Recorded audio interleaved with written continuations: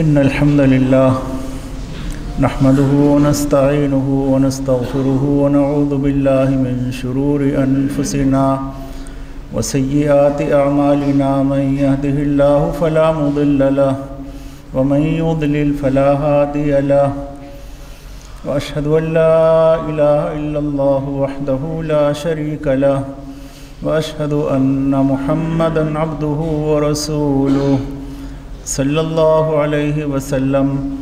أما بعد، فإن خير الحديث كتاب الله، وخير الهدي هدي محمد صلى الله عليه وسلم، وشر الأمور محدثاتها، فإن كل محدثة بدعة، وكل بدعة ضلالة، وكل ضلالة في النار. أعوذ بالله من الشيطان الرجيم. يا أيها الذين آمنوا اتقوا الله حق تقاته ولا تموتن إلا وأنتم مسلمون. يا أيها الناس اتقوا ربكم الذي خلقكم من نفس واحدة وخلق منها زوجها وبث منهما رجالا كثيرا ونساء. واتقوا الله الذي تساءلون به والأرحام. إن الله كان عليكم رقيبا. يا أيها الذين آمنوا اتقوا الله وقولوا قولا سديدا. يصلح لكم أعمالكم ويغفر لكم ذنوبكم. ومن يطع الله ورسوله فقد فاز فوزا عظيما. تمام تعریفیں اللہ رب العالمین ہی کے لیے ہیں اور بے شمار درود و سلام نازل ہوں اللہ کے نبی جناب محمد الرسول اللہ پر اور آپ کی آل و اصحاب پر اور آپ کے متبعین پر. اللہ رب العالمین نے خوشی اور غمی، راحت اور تنگی، ہر ایک دور اور زندگی کے میں آنے والے مراحل میں ہمیں زندگی گزارنے کا طریقہ اور سلیقہ تعلیم دیا ہے۔ قرآن کریم میں اور نبی کریم صلی اللہ علیہ وسلم کی سنت میں مکمل زندگی گزارنے کے اصول اور ضابطے موجود ہیں۔ ہمارا المیہ یہ ہے کہ آج ہماری بڑی تعداد اللہ تعالیٰ کے دین سے واقف نہیں ہے اور دینی احکام و مسائل سے ناواقف ہے۔ اس کی جانکاری یا تو کم ہے یا بالکل ہی نہیں ہے۔ اور اس کا نتیجہ یہ ہوا کہ بہت ساری رسمیں، بہت ساری خرافات اور غیر مسلموں سے بہت ساری چیزیں ہمارے معاشرے میں داخل ہو گئی۔ جس کو آج بھی ہم لوگ انجام دیتے ہیں اور اسی کے مطابق اپنی زندگی گزارتے ہیں۔ آج کے خطبے میں میں ایک مشہور مسئلہ ہے جس کو سب لوگ جانتے ہیں، اس کا ذکر کروں گا انشاءاللہ۔ عدت کا مسئلہ۔ ایک عورت جس کا شوہر فوت ہو جائے یا کسی عورت کو طلاق دی جائے تو عدت کے مسائل کیا ہیں اور عدت کس طرح گزارنی چاہیے؟ اس کے سلسلے میں بھی بہت ساری ناواقفیت لوگوں کے اندر پائی جاتی ہے اکثر لوگوں کے فون بھی آتے ہیں کہ صاحب، عدت کے اندر کن کن لوگوں سے پردہ ہے؟ یہ سوال بہت آتا ہے۔ اور اکثر لوگ اس کے بارے میں معلوم کرتے ہیں۔ تو یہ بات ذہن میں رکھنی چاہیے کہ پردے کے احکام جو شوہر کی زندگی میں ہیں، وہی احکام شوہر کے فوت ہو جانے کے بعد ہیں۔ عدت کے پیریڈ میں الگ سے پردے کے اسپیشل کوئی احکام شریعت میں نہیں ہیں۔ اللہ رب العالمین نے قرآن مجید میں فرمایا والذین یتوفون منکم ویذرون ازواجا یتربصن بأنفسهن أربعة أشهر وعشرا فإذا بلغن أجلهن فلا جناح عليكم فيما فعلن في أنفسهن بالمعروف والله بما تعملون خبیر اس آیت میں فرمایا گیا ہے کہ تم میں سے جو لوگ فوت ہو جائیں وہ بیویاں چھوڑ جاتے ہیں، تو وہ عورتیں اپنے آپ کو چار مہینے، دس دن عدت میں رکھیں۔ پھر جب مدت ختم کر لیں، عدت کا وقت ختم ہو جائے، تو جو اچھائی کے ساتھ وہ اپنے لیے کریں، اس میں تم پر کوئی گناہ نہیں ہے اور اللہ تعالیٰ تمہارے ہر ہر عمل سے باخبر ہے۔ اس آیت میں ایک مسئلہ بالکل واضح ہے۔ کہ جو شخص فوت ہو گیا ہے، اس کی بیوی چار مہینے دس دن عدت میں رہے گی۔ چار مہینے دس دن کے بعد اب وہ آزاد ہے آگے نکاح کرنے کے لیے۔ اس میں اس پر کوئی گناہ نہیں ہے، کوئی حرج نہیں ہے۔ اسی کے ساتھ ایک اور مسئلہ بھی ہے کہ کوئی شخص فوت ہوتا ہے اور اس کی بیوی حاملہ ہے۔ تو حاملہ ہونے کی صورت میں عدت کا حکم تبدیل ہو جاتا ہے۔ اگر عورت حاملہ نہیں ہے تو چار مہینے دس دن اس کی عدت ہے۔ اور اگر وہ حاملہ ہے تو اس کی عدت بچہ پیدا ہونے تک ہے۔ اللہ تعالیٰ نے سورہ طلاق میں فرمایا ہے وَأُولَاتُ الْأَحْمَالِ أَجَلُهُنَّ أَن يَضَعْنَ حَمْلَهُنَّ۔ کہ جو عورت حاملہ ہے، اس کی عدت بچے کی پیدائش تک ہے، وضع حمل تک۔ مثال کے طور پر، ایک شوہر کا انتقال آج ہوتا ہے اور اس کی بیوی حاملہ ہے۔ کل یا پرسوں یا دو دن بعد یا آٹھ دن بعد اس کے ہاں ولادت ہو جاتی ہے تو اس کی عدت ختم ہو گئی۔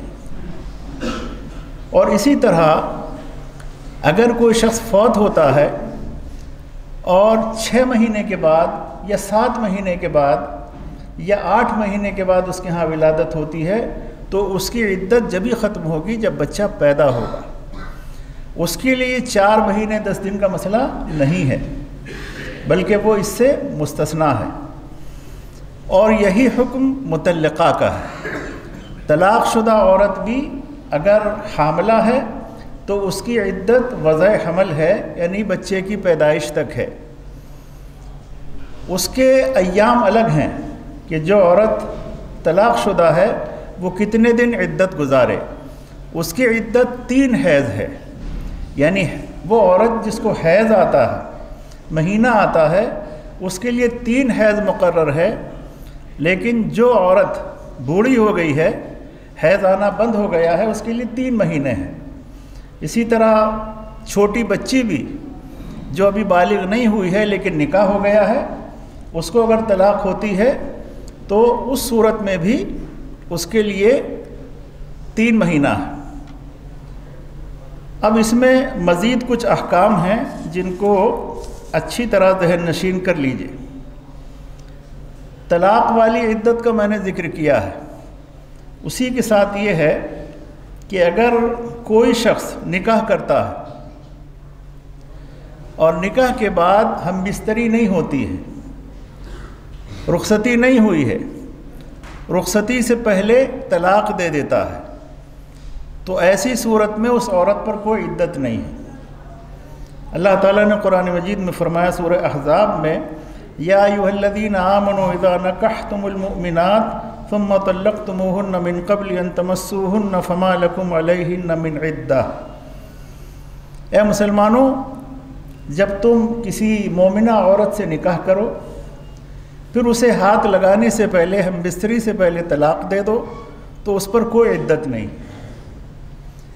تو مسئلہ یہ واضح ہو گیا کہ وہ عورت جسے رخصتی سے پہلے، ہم بستری سے پہلے طلاق دی گئی ہے اس پر عدت نہیں ہے۔ لیکن اگر کوئی شخص نکاح کرتا ہے اور رخصتی سے پہلے فوت ہو جاتا ہے، تو فوت شدہ شوہر کی بیوی جو ابھی اس کے گھر نہیں آئی ہے، اس پر چار مہینہ دس دن عدت ہے۔ اس فرق کو ذہن میں رکھیں۔ طلاق شدہ عورت جس کو جس کا ہم بستری نہیں ہوئی ہے، اس پر عدت نہیں ہے۔ لیکن فوت شدہ شخص کی بیوی عدت کرے گی چار مہینہ، دس دن۔ اب عدت میں کس طرح سے عورت کو رہنا؟ ہے اور عدت کے کچھ اور احکام بھی قرآن مجید نے بیان کیے۔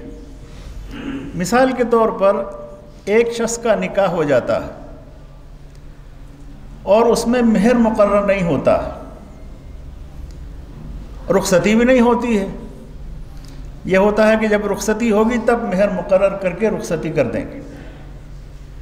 اب اس سے پہلے ہی وہ شخص طلاق دے دیتا ہے۔ تو اب اس میں کیا ہے؟ اللہ تعالیٰ نے قرآن مجید میں بیان کیا ہے۔ لا جناح علیکم ان طلقتم النساء ما لم تمسوهن او تفرضوا لهن فریضہ۔ ومتعوهن على الموسع قدره وعلى المقتر قدره.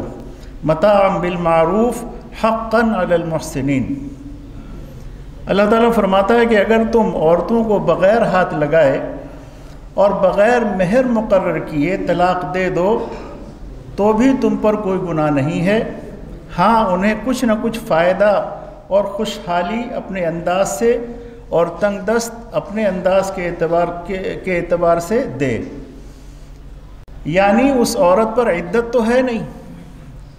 مہر بھی مقرر نہیں ہوا ہے۔ تو ایسی صورت میں اس شخص کو کچھ نہ کچھ اسے دینا ہے۔ جو آدمی خوشحال ہے گنجائش دار ہے، اسے اپنی حیثیت کے مطابق کچھ نہ کچھ دینا ہے۔ اور جو آدمی تنگ دست ہے، اسے اپنی حیثیت کے مطابق دینا ہے۔ کچھ نہ کچھ دے کر اس کو رخصت کرنا ہے۔ اسی طرح ایک اور حکم بھی اس سلسلے میں ہے۔ اللہ نے فرمایا، وَإِن تَلَّقْتُمُوهُنَّ مِن قَبْلِ أَن تَمَسُّوهُنَّ وَقَدْ فَرَضْتُمْ لَهُنَّ فَرِيضَةً۔ فنصف ما فرضتم الا ان يعفون او يعفو الذي بيده عقدة النکاح اگر تم میں سے کسی شخص نے طلاق دی ہے، بیوی کو چھونے سے پہلے اور مہر مقرر ہو گیا ہے تو ایسی صورت میں تمہیں آدھا مہر ادا کرنا ہے۔ یعنی نکاح ہوا، مہر مقرر ہوا، ابھی رخصتی نہیں ہوئی، اور طلاق دے دی گئی۔ تو ایسی صورت میں آدھا مہر اس کو ادا کرنا ہے۔ تو یہ طلاق شدہ بیوی کے احکام اللہ تعالیٰ نے بیان کیے ہیں۔ اب عدت میں کن چیزوں سے عورت کو اجتناب کرنا چاہیے اور کہاں تک عورت کے لیے گنجائش نکلتی ہے کہ وہ اس کو وہ سہولتیں حاصل ہیں۔ ہمارے یہاں عام طور پر یہ ذہن ہے کہ عدت میں جب عورت ہوتی ہے تو اسے بالکل گھر کے اندر کے کونے میں بیٹھنا چاہیے۔ اسے گھر کا کام کاج بھی نہیں کرنا چاہیے۔ اسے صحن میں بھی نہیں آنا چاہیے۔ چاند ستارے بھی اس کی نظروں سے غائب رہنے چاہیے۔ یہ ایک تصور ہے جو غلط ہے اور یہ غیر اسلامی تصور ہے۔ اسلام میں ایسا نہیں ہے۔ عدت میں جو عورت ہے، چاہے وہ متعلقہ ہے یا فوت شدہ شخص کی بیوی ہے، دونوں صورتوں میں وہ شوہر کے گھر میں رہے گی اور اس کا کھانا، خرچہ شوہر کے گھر والوں کے ذمے ہے،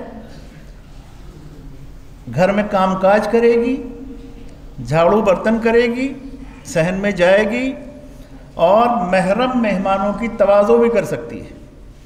محرم مہمانوں سے بات چیت بھی کر سکتی ہے۔ اسی طرح غیر محرم سے بھی پردے کی حالت میں بات چیت کر سکتی ہے۔ کوئی ضرورت اسے آ پڑتی ہے تو وہ بات چیت کر سکتی ہے۔ ایسا نہیں ہے کہ وہ بالکل اعتکاف کی حالت میں ہے اور موتقف میں رہے گی، کہیں باہر نکلے گی نہیں۔ ایسا نہیں ہے۔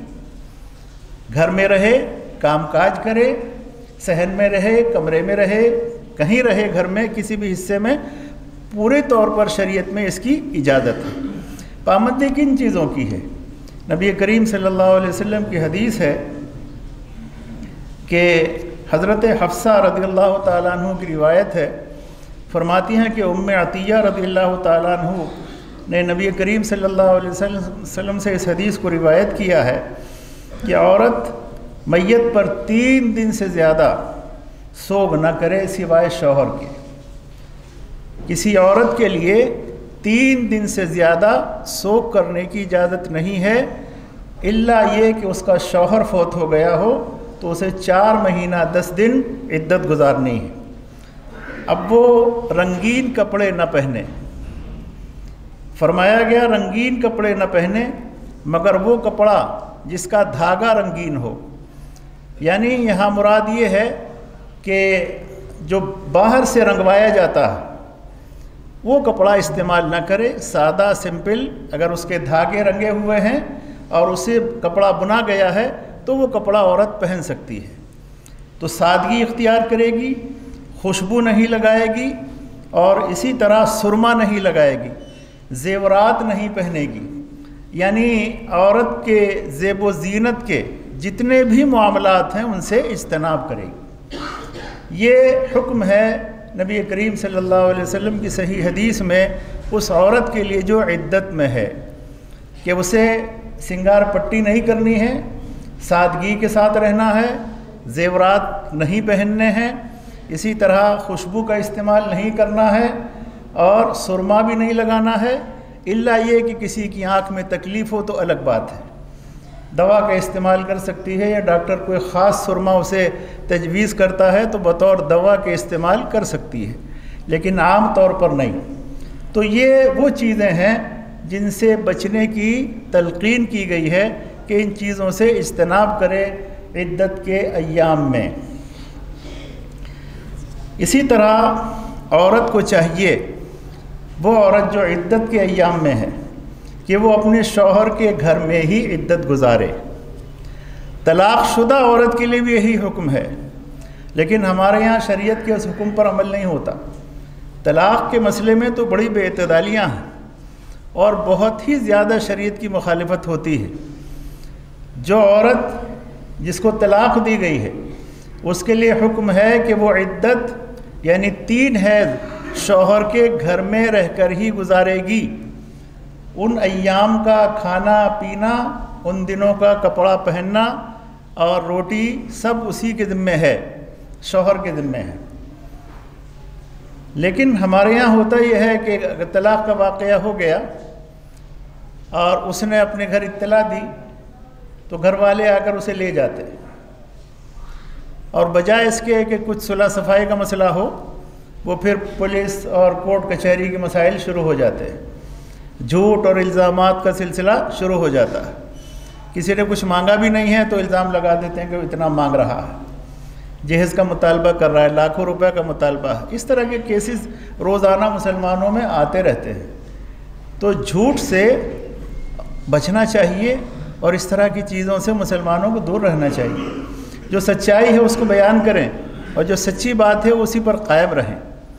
یہی مومنین کا راستہ ہے۔ تو جو عورت فوت شدہ شخص کی بیوی ہے یا متعلقہ ہے، وہ شوہر کے گھر میں ہی عدت گزارے گی۔ نبی کریم صلی اللہ علیہ وسلم کے زمانے کا ایک واقعہ ہے۔ حضرت ابو سعید خدری رضی اللہ تعالیٰ عنہ کی بہن تھیں۔ وہ نبی کریم صلی اللہ علیہ وسلم کی خدمت میں حاضر ہوئیں۔ اور یہ عرض کیا اللہ کے رسول، میرا شوہر اپنے غلاموں کی تلاش میں نکلا تھا۔ غلام بھاگ گئے تھے۔ ان کی تلاش میں نکلا، ایک علاقے میں جا کر وہ ملے اور ان لوگوں نے میرے شوہر کو قتل کر دیا۔ اب میں چاہتی ہوں کہ میں بنی خدرہ میں اپنے بھائیوں کے، اپنے اہل و عیال میں ماں باپ کے گھر چلی جاؤں۔ نبی کریم صلی اللہ علیہ وسلم نے کہا، تم جا سکتی ہو۔ لیکن جب وہ گھر سے نکلی، نبی کریم صلی اللہ علیہ وسلم سے مسئلہ پوچھ کر، آپ نے پھر بلا لیا واپس۔ اور کہا، ذرا پھر بیان کرنا، کیا تم بیان کر رہی تھی؟ اس کے بعد آپ نے فرمایا کہ نہیں، تمہیں اپنے شوہر کے گھر میں رہنا ہے۔ تو شوہر کے گھر میں ہی عورت کو عدت گزارنی ہے۔ تو یہی اصل مسئلہ ہے۔ ہاں اب اس میں کچھ چیزیں ہیں استثناء کی، جن کو میں انشاءاللہ ذکر کروں گا۔ نبی کریم صلی اللہ علیہ وسلم کی احادیث کی روشنی میں وہ عورت جو شوہر کے گھر میں محفوظ نہیں ہے یا اس کے کھانے پینے کا خرچ وہاں نہیں ہے، اس طرح کے معاملات اگر اس کے ساتھ پیش آتے ہیں تو پھر وہ اپنے اہل و عیال میں، اپنے والدین، والد کے گھر یا اپنے بھائیوں کے گھر جا سکتی ہے۔ اس کی اجازت ہے۔ نبی کریم صلی اللہ علیہ وسلم کی احادیث میں اس طرح کی چیزوں کا ذکر ملتا ہے۔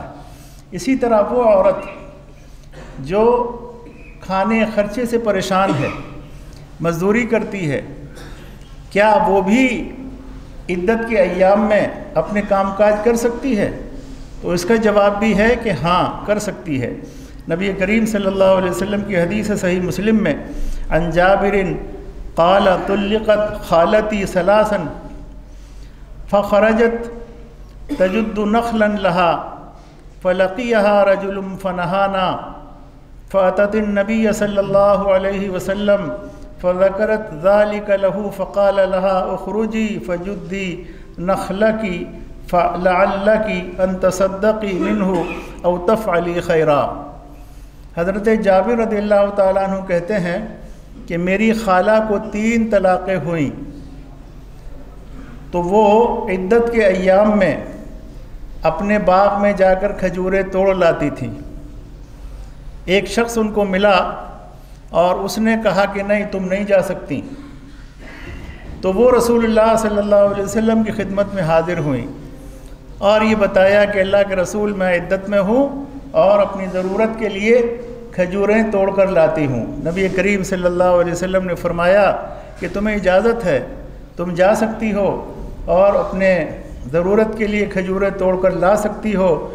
اور مجھے امید ہے کہ تم اس میں سے کچھ اللہ کے راستے میں بھی خیرات کرو گی صدقہ کرو گی اور خیر کے کام بھی کرو گی تو یہ حدیث دلیل ہے اس بات کی کہ اگر عورت کا کی کفالت کرنے والا کوئی نہیں ہے اور کوئی اس کا ذریعہ نہیں ہے کھانے پینے کا اور وہ مزدوری کرتی ہے، تو وہ دن کے وقت میں جا کر اپنا کام کاج کر کے گھر چلی آئے، رات کو اپنے گھر میں گزارے۔ یہ حکم ہے اس عورت کے لیے۔ اسی طرح بعض ایسے مسائل بھی آتے ہیں کہ مثال کے طور پر ایک خاتون کسی لڑکیوں کے کالج میں یا اسکول میں پڑھاتی ہے۔ اس کا شوہر فوت ہو گیا یا اسے طلاق مل گئی۔ اب وہ عدت کے ایام میں کیا پڑھانے جا سکتی ہے؟ بعض ادارے تو چھٹی دے دیتے ہیں، لیکن بعض ایسے ادارے بھی ہوتے ہیں جو کہتے ہیں ہم تو چھٹی نہیں دیں گے۔ اتنا، اتنے ٹائم کی چھٹی ہم نہیں دے سکتے۔ تو ایسی خاتون کے لیے بھی اجازت ہے، علماء نے لکھا ہے فتح کی کتابوں میں، کہ وہ عورت جائے گی اور لڑکیوں کا کالج ہے یا اسکول ہے تو پڑھا کر وہاں سے اپنے گھر چلی آئے گی۔ یعنی رات کو گھر میں رہنا۔ دن میں وہ کام کاج کے لیے جا سکتی ہے۔ اسی طرح بعض سرکاری اسپتالوں میں نرسیں ہوتی ہیں یا ڈاکٹرز ہوتے ہیں، ہوتی ہیں، ان کو بھی چھٹی نہیں مل پاتی ہے۔ تو ان کے لیے بھی علماء نے اجازت دی ہے کہ وہ بھی اپنے کام کے لیے، اپنی ڈیوٹی کے لیے جا سکتی ہیں عدت کے ایام میں، لیکن رات گھر میں گزاریں گی۔ اور اس کے لیے دلیل ہے کہ مصنف ابن ابی شیبہ حدیث کی کتاب ہے، اس میں حضرت عمر رضی اللہ تعالیٰ عنہ، حضرت زید بن ثابت رضی اللہ تعالیٰ عنہ، اور حضرت عبداللہ بن مسعود رضی اللہ تعالیٰ عنہ سے یہ بات مروی ہے کہ وہ لوگ عورت کو عدت کے ایام میں، دن کے وقت میں کام کاج کرنے کی اجازت دیتے تھے، اگر اس کو اس کی ضرورت ہے۔ اگر عورت کو حاجت ہے، کوئی کفالت کرنے والا نہیں ہے، تو دن کے وقت میں وہ اس کی اجازت دیتے تھے۔ اور ایک اور اثر بھی ہے، مصنف عبد الرزاق یہ بھی حدیث کی کتاب ہے، اس میں حضرت عبداللہ ابن عمر کے بارے میں ہے کہ ان کی بیٹی بیوہ ہو گئیں، اس کا شوہر فوت ہو گیا، تو وہ عدت کے ایام میں کبھی کبھی اپنے والد سے ملاقات کے لیے آ جاتی تھی۔ تو یہاں اس سے یہ پتہ چلتا ہے کہ جو ہمارے یہاں تصور ہے عدت کا کہ عورت چار مہینے دس دن تک قید میں رہے گی، یہ تصور اسلام میں نہیں ہے۔ دین میں یہ تصور نہیں ہے کہ وہ صاحب بالکل قید و بند کی زندگی گزارے گی۔ مان لیجیے، گھر میں اکیلی ہے، کھانا خرچہ سب اس کو مہیا ہے، لیکن عورت کے لیے کوئی بات چیت کرنے والا بھی نہیں ہے، کوئی اس کا دل بہلانے والا بھی نہیں ہے۔ تو کیا وہ مستقل شوہر کے غم میں پڑی رہے، تو ایسی عورت کے لیے یہ واقعہ، یہ دلیل جو حضرت عبداللہ ابن عمر کی بیٹی کی ہے کہ وہ کبھی کبھی عدت کے ایام میں اپنے والد سے آ کر ملاقات کر کے پھر اپنے گھر واپس ہو جاتی تھی تو اتنی بھی، اتنی اجازت ہے شریعت میں کہ عورت ایسا عدت کے ایام میں کر سکتی ہے۔ یعنی وہ گھر میں قید نہیں ہے، جس طرح کا تصور ہمارے معاشرے میں ہے۔ تو اس طرح کی چیزوں کو ہمیں جاننا چاہیے، سمجھنا چاہیے ان مسائل کو۔ اسی طرح ایک اور چیز بھی ہے کہ عدت کب شروع ہوتی ہے؟ عدت جس دن شوہر کا انتقال ہوا ہے، اسی دن سے عدت شروع ہو جاتی ہے۔ اب مان لیجیے ایک عورت اپنے گھر پر ہے، شوہر پردیس میں ہے۔ آج کے دور میں تو یہ مسئلہ کم سے کم نہیں ہوتا، چونکہ آج کل اتنے ذرائع وسائل ہیں کہ سوئی کہیں گرتی ہے تو آواز کہیں آتی ہے۔ دنیا سمٹ گئی ہے۔ لیکن ایک زمانہ تھا کہ خط و کتابت کے ذریعے خبریں آتی تھیں اور خطوط کے آنے میں بھی مہینوں لگ جاتے تھے۔ تو یہ مسئلہ بھی علماء نے لکھا ہے کہ اگر کافی دنوں کے بعد، مان لیجیے دو مہینے کے بعد اسے اطلاع ملتی ہے یا چار مہینے دس دن گزر جانے کے بعد اسے اطلاع ملتی ہے کہ فلاں تاریخ میں اس کے شوہر کا انتقال ہو گیا ہے۔ تو اس کی عدت شروع ہو چکی تھی۔ اسی دن سے جس دن اس کا شوہر فوت ہوا ہے۔ اور اگر دو مہینے کے بعد خبر ملی ہے تو دو مہینے گزر چکے ہیں۔ اسے اب اسی دن سے چار مہینے دس دن عدت نہیں کرنی ہے۔ جتنے ایام باقی ہیں، اتنے ایام میں عدت کے احکام کی پابندی کرنی ہے۔ اور ان ایام کو پورا کر کے وہ عدت اس کی ختم ہو جائے گی۔ اور مان لیجیے اگر چار مہینے دس دن گزر جانے کے بعد بھی خبر آتی ہے تو عدت اس کی ہو گئی۔ اب اسے الگ سے عدت میں بیٹھنے کی ضرورت نہیں ہے۔ تو یہ بھی علماء نے فتح کی کتابوں میں لکھا ہے۔ اسی طرح ہمارے یہاں بعض رسمیں ہوتی ہیں۔ لوگ معلوم کرتے ہیں جی کب نکلنا ہے۔ ایک سوال یہ بھی ہوتا ہے، تو پردے کا میں نے ذکر کیا۔ بہت لوگ پوچھتے ہیں کہ صاحب، پردہ کس سے ہے؟ تو میں نے عرض کیا کہ پردہ پردہ اسپیشلی نہیں ہے عدت میں، بلکہ شوہر کی زندگی میں جن لوگوں سے پردے کا حکم شریعت نے دیا ہے، انہی سے پردے کا حکم عدت کے ایام میں بھی ہے۔ الگ سے اسپیشل کوئی حکم نہیں ہے۔ اب اس میں یہ مسئلہ بھی آتا ہے کہ صاحب، کس ٹائم نکلنا ہے؟ تو عدت کے ایام کو گننے کے لیے عربی مہینوں کا عربی تاریخ کا حساب لگانا چاہیے۔ انگریزی تاریخ سے نہیں، عربی تاریخ، اسلامی تاریخ کے اعتبار سے عدت کے ایام گزریں گے۔ اور اسی اعتبار سے مغرب کے وقت ہمارا دن ختم ہوتا ہے۔ تو جس دن بھی دسواں دن ہوگا، چار مہینے گزر جانے کے بعد دسواں دن جس تاریخ میں آئے گا اس دن مغرب تک اس کا ٹائم ہے۔ اب ہمارے یہاں بڑی رسمیں ہیں صاحب۔ سارا خاندان جمع ہو جاتا ہے۔ باقاعدہ دعوت ہوتی ہے، تقریب ہوتی ہے۔ اس کے لیے جمع ہوتے ہیں کہ فلاں کی عدت پوری ہو رہی ہے، سب کو چلنا ہے۔ بہنیں بھی آ رہی ہیں اور بھائی بھی آ رہے ہیں اور فلاں بھی آ رہے ہیں۔ اور اس میں لین دین بھی ہوتا ہے۔ باقاعدہ سوٹ، جوڑے، زیورات اور اس طرح کی چیزوں کا استعمال ہوتا ہے۔ یہ کہاں سے لوگوں نے نکال لیا ہے؟ اسلامی شریعت میں تو اس طرح کی کوئی چیز نہیں، نہ اس وقت دعوت ہے۔ اچھا جی کب نکلیں گے؟ ارے بھائی، نکل کے جائیں گی کہاں یہ؟ اب وہ جو پابندی آیت تھی وہ ختم ہو گئی ہے۔ اب وہ گھر میں رہیں، ضرورت پر کہیں جانا ہو تو جائیں۔ ایسا نہیں ہے کہ مغرب کے وقت ٹائم ختم ہو رہا ہے تو اب انہیں کہیں نہ کہیں جانا ہی ہے۔ یہ رسم بھی ہے کہ عورت کو نکل کر کہیں کسی رشتہ دار کے گھر جانا ہے، بھائی کے یہاں، بہن کے یہاں، اور اس طرح سے لوگ یہ سمجھتے ہیں کہ اب یہ عدت سے نکل گئی ہے۔ اگر گھر میں ہی رہے گی تو لوگ سمجھیں گے کہ نہیں صاحب، نکلی تو ہے ہی نہیں۔ تو عدت سے نکلنے کا معنی یہ نہیں ہے کہ گھر سے نکلنا ہے۔ عدت سے نکلنے کا مطلب یہ ہے کہ وہ پابندیاں جو اس پر عائد تھیں، وہ پوری ہو گئی وہ ختم ہو گئی ہیں۔ اب وہ سرما لگا سکتی ہے۔ اچھے کپڑے پہن سکتی ہے، زیورات پہن سکتی ہے، اسی طرح گھر میں رہتے ہوئے خوشبو لگا سکتی ہے۔ عورت کو جب بازار جانا ہو تو خوشبو لگانا منع ہے۔ شوہر کی زندگی میں بھی یہ مسئلہ بھی آپ کو معلوم ہے، بارہا اس کو بیان کیا جا چکا ہے۔ لیکن عورتوں کا حال یہ ہے کہ جب گھر سے نکلنا ہوتا ہے تو خوشبو لگاتی ہیں۔ گھر میں رہتی ہیں تو پھر کوئی خوشبو خوشبو کا استعمال اللہ ماشاء اللہ کوئی کرتی ہو، گھر سے نکلتے وقت کریں گے۔ تو یہ جائز نہیں عورتوں کے لیے کہ گھر سے نکلتے ہوئے خوشبو کا استعمال کریں۔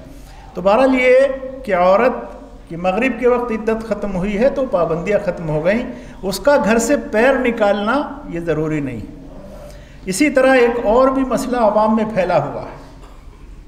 کتابوں میں کہیں نہیں لکھا اور کسی مسلک کی کتاب میں نہیں لکھا۔ کہ اگر عورت کو عدت نہیں کرنی ہے، تو شوہر کا جنازہ جب گھر سے نکلے، تو عورت کو پیچھے پیچھے دس بیس قدم نکال دو، تو اب اس پر عدت ختم۔ یہ جہالت ہے، کچھ نہیں ہے۔ ایسا کسی نے نہیں لکھا، کہیں کسی کتاب میں نہیں ہے۔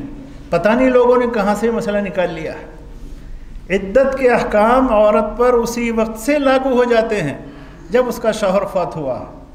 اب وہ گھر سے نکلے یا نہ نکلے، اس کا کوئی مسئلہ نہیں ہے۔ تو اس لیے میرے بھائیوں دینی احکام کی معلومات کرنا اور دینی احکام کو جاننا، یہ ہم میں سے ہر ایک کی ذمہ داری ہے۔ اللہ تعالیٰ مجھے بھی اور آپ کو بھی دین کو سمجھنے کی توفیق عطا فرمائے اور دین کے مطابق زندگی گزارنے کی توفیق عطا فرمائے۔ اقول